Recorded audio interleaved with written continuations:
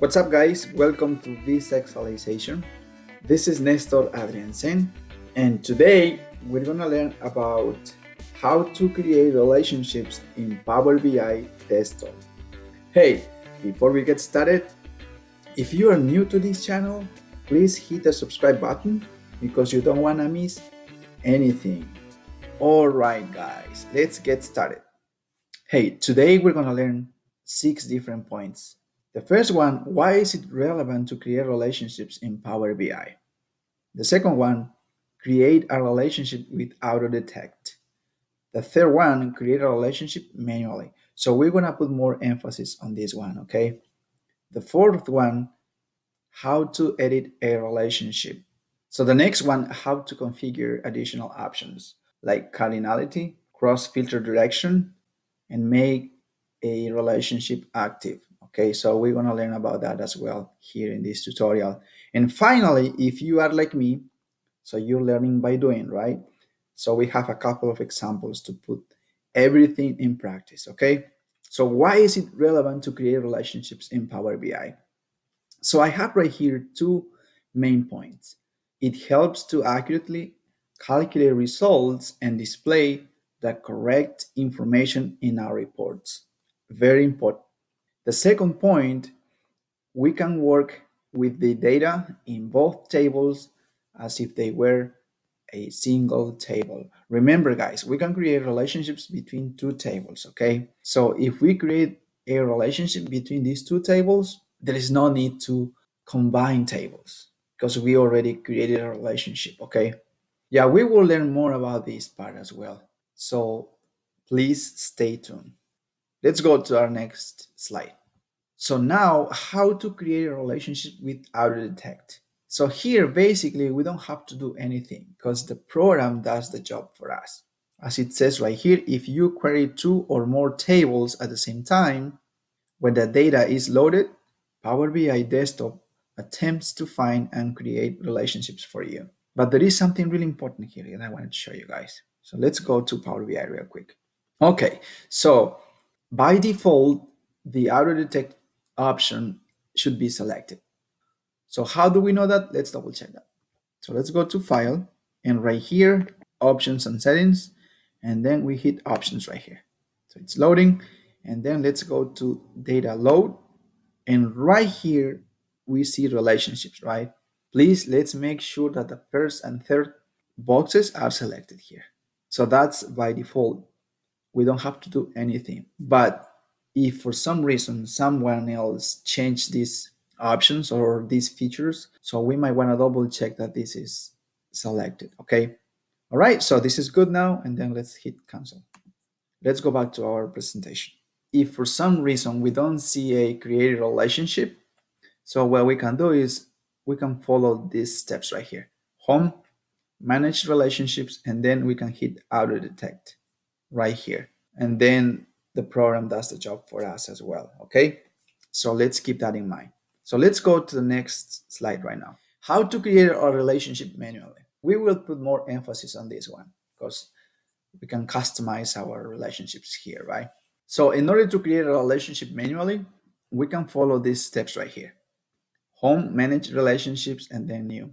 As you guys can see on the right side of your screen.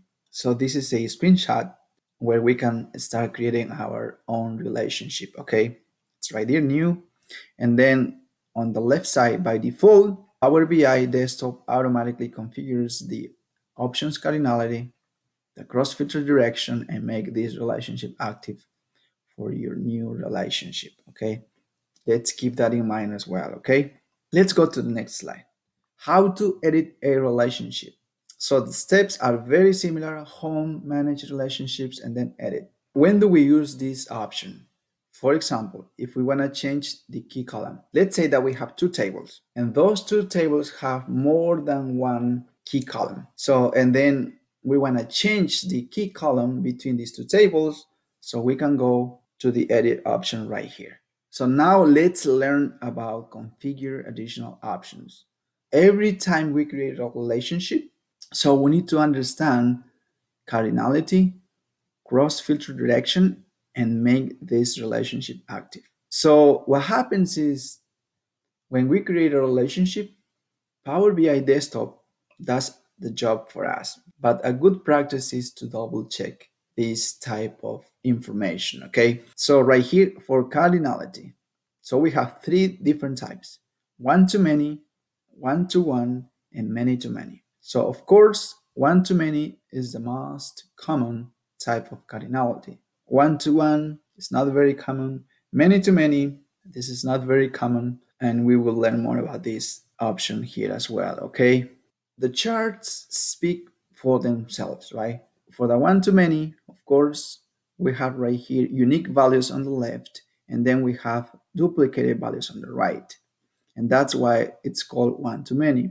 For the one to one, we have unique values in both tables. For many to many, we have duplicated values in both tables. Now for cross filter direction. So we have two different types, single and both. Single is the most desirable behavior. It's very important, guys. The filtered context is always propagated in one direction of the relationship. Okay? Basically, from one to many. That's the direction that we want to have. And then for both, the filter context is always propagated in both directions of the relationship. As I mentioned before, single is the most desirable behavior. And finally, make this relationship active. So this is critical when there is more than one relationship between two tables. Yes, we can have more than one relationship between two tables, but only one should be active. That's why it's critical when there is more than one relationship between two tables. We want to make sure that we are activating the right relationship. So now let's go to the next slide.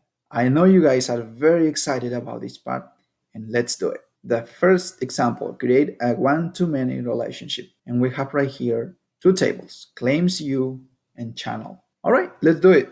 So what we're gonna do is we're gonna get data, get data. And this is an Excel file, connect. And right here, we're gonna select this data right here. So don't worry, I'm gonna share with you guys this file as well, okay? Open. So right here, we're gonna select the first three tables, okay? And then we're gonna load them it's loading. So what we can do is we're gonna edit these names right here real quick. This should be channel, and this should be claims M, and then right here, claims U. So now our first relationships is between claims U and channel. But before we do that, let's take a quick look at model. Remember that the auto detect option was selected. And let's see if the program has created relationships automatically. Let's double check that. Bingo. See? If you guys can see right here, we have three different tables and we have relationships between these tables, okay? But just for this example, we're gonna delete them. Right click, delete, right click, delete, okay? Because we will be focusing on how to create relationships manually. Okay, so before we create a relationship, let's create a table with this information. So we're gonna go to claims U. Okay, so let's drag customer into this area. And then for channel, let's drag delivery time, delivery time, and then we want to have also claim cost, okay? Let's drag claim cost. Boom. And then let's let's make this a little bit bigger so you guys can see it. Uh, let's go to values here. And then let's increase the text size right here. Let's put it 14 if we want. And then let's keep editing this part. For column headers, let's also select 14. Okay, that way we can visualize this better. Okay, so here's the deal. If you guys can see, something is wrong here, right? Because we have delivery time 52 52 for every single customer, and that's not correct. And then for claim cost, it seems like it's working fine. That's why we need to create relationships. So now let's create a relationship, okay? Let's go to manage relationships. And right here, let's hit new. And of course, we're gonna select the tables, claims U, and then right here, we're gonna select channel. And then right away, we can see that the key column is customer between these two tables, right? Customer here, customer here, and then for cardinality, and we have right here one to many, so we are good. For cross filter direction, single, that's perfect.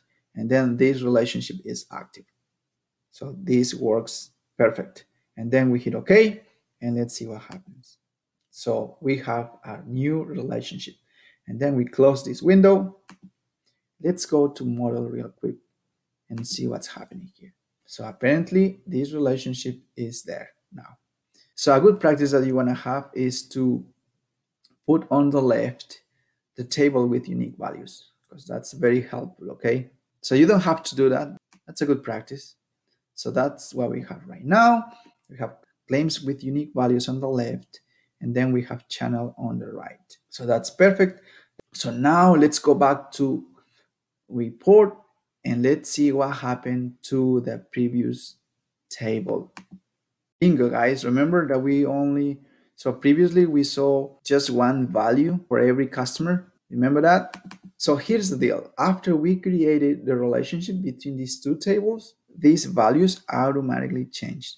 And now this report makes sense, right? So that's why it's very useful to have relationships between tables. So now let's go back to our presentation. So the next point is create a many-to-many relationship. And right here, there is something really important. So please here remember, in order to create relationships between two tables, at least one of the tables should have unique values. I'm talking about a key column, right? So that column should have unique values, at least one of the tables. But what happens when both of the tables have duplicated values. So that's quite challenging. And guess what? We can work around that in two different ways. The first one is by removing duplicates. So that's a quite straightforward fix, right? But we might not want to do that because if we delete duplicated information, we might lose valuable information for the report. So we don't want to do that. The second way is by adding an intermediary table made of the list of distinct key values to the model. And we're going to do that. We're going to use these two tables, channel and claims M. First, let's create a relationship and let's see what's happening. Okay, manage relationships, new, and right here, channel, and then right here, claims M. Automatically, we can see that the customer is the key column, customer, customer. Guess what? Here's the error that I'm talking about. So, in other words, we cannot create a relationship between these two tables. Now let's cancel this action and fix this situation right now. Okay. Remember that we want to create a relationship between channel and claims M, right? As I mentioned before, I need to create an intermediary table made of the list of distinct key values to the model. So let's do that. Go to home edit queries, and then right here, append queries as new. All right, so two tables, and then of course we know this channel is one table, and then claims M is the other table, and then we hit OK. So we're gonna keep this table, right? And then what we're gonna do is basically select that column, remove other columns, and then right here, right click, remove duplicates, okay? All right, so that's what we have. And then we can call this table customer. After we've done that, let's close and apply. All right, so now let's go to model and let's see what's happening. Bingo. So right here, so we have a new table. So we have the customer table. But remember, we don't care about this relationship. Let's delete that relationship. Because the program is creating that relationship for us, right? With the auto detect option. So let's delete that and now, so this is the intermediary table that we were talking about. So now let's create a relationship between customer and channel. Of course, customer is the key column. Let's drag and release here. Boom, one to many, perfect. Let's do the same thing for the other two tables, customer and claims M. Let's drag customer into claims M. Boom. Now we created a new relationship between customer and claims M. So now if we want to create a report and we want to use customer, so we don't want to use customer from claims M and we don't want to use customer from channel. So we want to use customer from customer. So let's keep that in mind. So we can also do something really cool here. So we wouldn't get confused, okay? So let's select customer here and right click and let's hide in report view. So by doing that, we can hide this option so we cannot select that by mistake. Let's hide customer here as well, right click, hide in report view. So this is what I'm talking about. Let's go to report real quick. So remember, if we go to channel, we don't see customer there. It's hidden, right? And if we go to claims M, we don't see customer there. It's hidden. So that's how it works. So in that way, when we create a report, we don't get confused, right? So we need to use customer from this table, from the table called customer. All right, so now let's create a new table. So how about if we duplicate this table? Control C and then Control V right here. and then right here, let's unselect this real quick. Let's unselect this right here. Okay, so now we have an empty table. So what we want to have is claim date. Claim date, remember the claim date from claims M is right here. Boom. And now we have right here hierarchies, right? If we don't want to have that, what we can do is go to here and then claim date. Boom. That's better. And now let's select customer. But remember, we need to select customer from the customer table. Select that, customer right there, right? And then let's select delivery time. And remember the delivery time is right here. Boom. It's working fine now so far. Let's move this a little bit to the left so we have more space. And then right here, how about claim cost? Claim cost should be right here. Boom. So that's how it works, guys. That's why it's very important to have relationships in Power BI desktop. So if you want to edit this format, the claims date format, so what you can do is basically go to data and let's select right here claims M. And right here, what you can do is you can go to modeling right here. And then let's say that you want to have a different format. Uh, you can do this right here if you want. Boom, there you have it. And then if you want to go back to report, it's right there.